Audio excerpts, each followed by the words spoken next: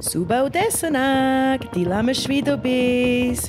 Hello, good morning. We had a great night's sleep in Levan's guest house and we are heading today to the village of Dartlo, about 12 kilometers to the west of Omalo. The majestic and ancient Keselo fortress in the distance. Some people, as it's only 12 kilometres away, will decide to hike this if they come up here for the whole summer. But as we're a little bit pressed for time and there's a lot to see in this majestic region, we decided to hitch a ride with Levan in his Delica. Everywhere you look, every way that the road turns is just another beautiful view, whether it's thick forest or a panoramic mountain view. As we're on the approach to the village of Dartlo, we can see that there is a big, ferocious river that we'll need to cross. On our approach to the village, we can see it already in the distance. The village of Dartlo is located in the valley where two huge mountains meet. Can't wait to check it out. We can see already it's going to be a very, very, very special experience to visit this ancient village. Crossing the river is a little bit bumpy, so it's kind of like a Georgian massage.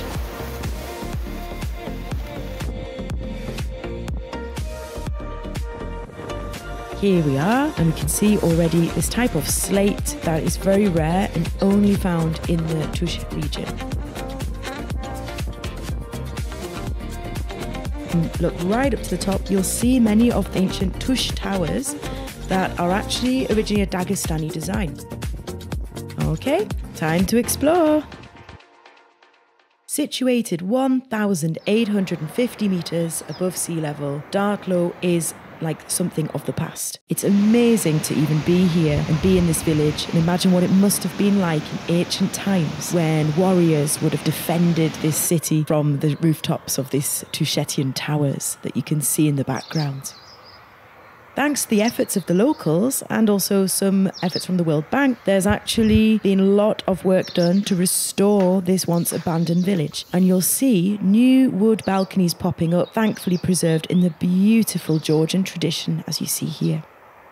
It's also worth mentioning that the slate that is used in the roofs and to build these towers is only allowed to be built by Tushetians, and it's got a special name called Sipikva. We even saw a little friend.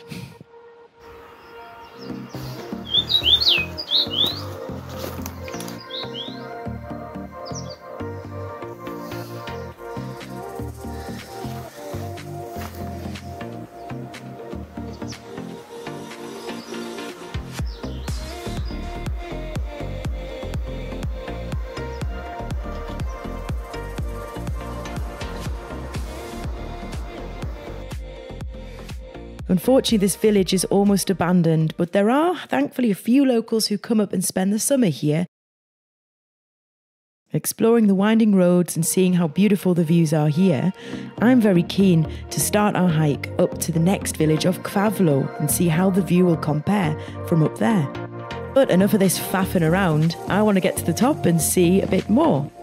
Yamu, Yamu, Zabidet, let's go!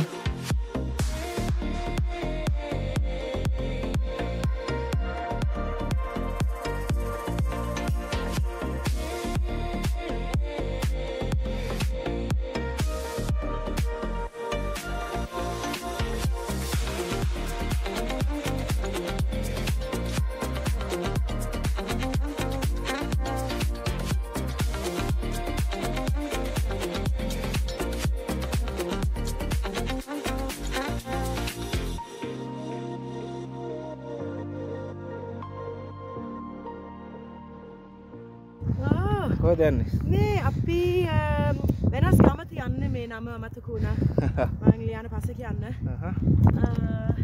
මගන පාපලෝ පාපලෝ මේ area එක මොකොක්ද දාත්ලෝ පාවලෝ මගේතන්නේ පාවල කිලෝමිටස් දෙක්කක් විතරයි මේ ටිකක් උඩට යන්න ඕනේ. මේ පැත්තේ. Although not the most well signposted of routes, apart from one yellow sign at the very bottom, um, it is it is not really difficult to go wrong, to be honest. You just follow the trail, zigzagging up the mountain pass to the village of Kvavlo. and finally, we made it!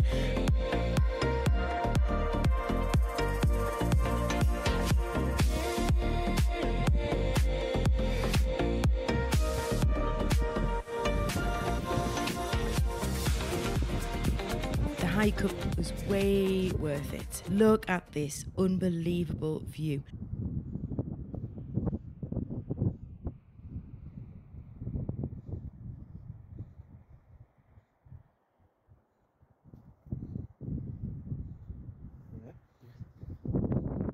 Just over the other side, you can see the village of Danlo, which you can actually access by car and drive right around to the village of Kvavlo at the top, where you'll find the Kvavlo Hotel, where you can even enjoy something to eat and a nice warm cup of tea after your grueling two kilometre hike, almost vertically up a mountain.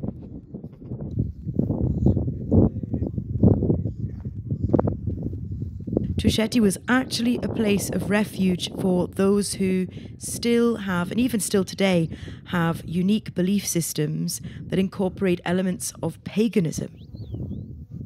But most people choose to worship at shrines called khati, like this one. You can see the wax from some of the candles that are still melted on there from recent prayers.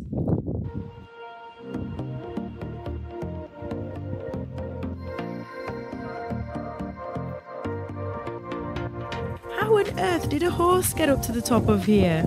He's very, very friendly and very sweet. It was nice to give him a little stroke and a love.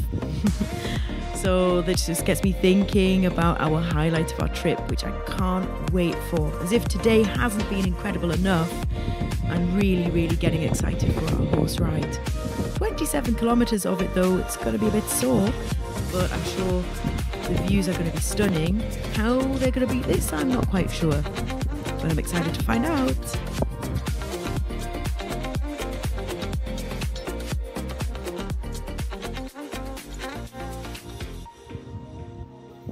I enjoyed sitting here, taking in this incredible view, having some nuts and some tea.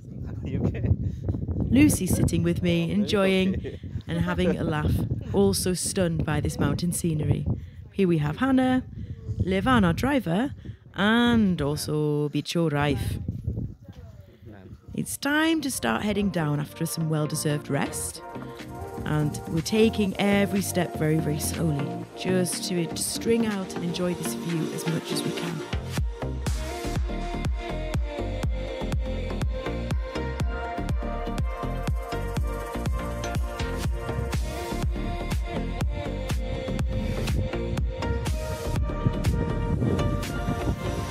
This small path is pretty easy. Definitely more of a walk than a hike. And you can see the third village of Danlo in the background, one of Tusheti's 48 villages.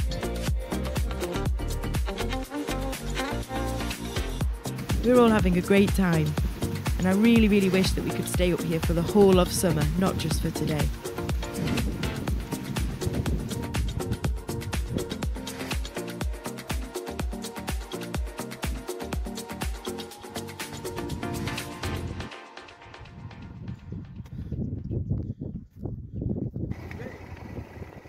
Ah, who's this? We stumbled upon a few Poles who had some issue with a bike. Let's see if we can fix it.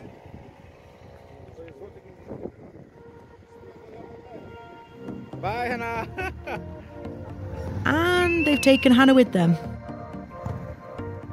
So, after a bit of help from Levan, the bikers are on their way.